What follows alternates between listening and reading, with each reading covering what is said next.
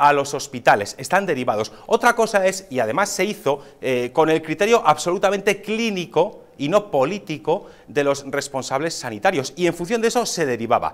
También se ha, sabido que aquellas personas mayores que tuviesen otras patologías cuya... Eh, que, hiciese difícil el poderlos atender en hospitales, como por ejemplo eh, problemas psiquiátricos y que esas personas no tuvieran un comportamiento normal en razón de su situación psiquiátrica, es decir, por ejemplo, una persona, por desgracia, con demencia, que puede tener un comportamiento violento, no lo puedes introducir en una UCI de un hospital donde es una sala común y hay más enfermos. Para eso se medicalizaron en la Comunidad de Madrid 230 residencias, que es que eso no sé por qué no se dice, es que también son datos oficiales, 230 residencias de la Comunidad de Madrid medicalizadas para poder atender a aquellos ancianos que en razón de otras patologías, además del coronavirus, no pudieran ser derivados a hospitales, puesto que esas patologías entorpecerían el trabajo de los sanitarios o el bienestar del resto de los pacientes. Eso es lo que ha pasado pura y simplemente en la Comunidad de Madrid y aquí lo estamos obviando. Y si tan malo era el protocolo del 20 de marzo, el, jefe supremo de todo eso, o el que tenía poder para inhabilitar eso, era Pablo Iglesias, y no lo hizo. Y por otra parte, insisto, el protocolo que vale,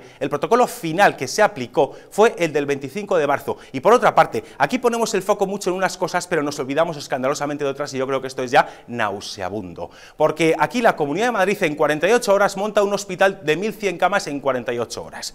En 72 horas hay ya 3.000 camas disponibles. Eso es lo que se hace en la Comunidad de Madrid. A 70 kilómetros de Madrid o 57 minutos por autopista, en Toledo, hay un hospital de 803 camas que estaba terminado, que no estaba inaugurado y que el señor García Paje se negó a abrir. A lo mejor si ese hospital hubiera estado abierto, se podrían haber derivado allí muchos pacientes y no habría hecho falta IFEMA. Pero claro, como el señor García eh. Paje es socialista, entonces aquí no pasa nada. Esa es la doble vara de medir asquerosa que se está teniendo en este Efectivamente, hay que abrir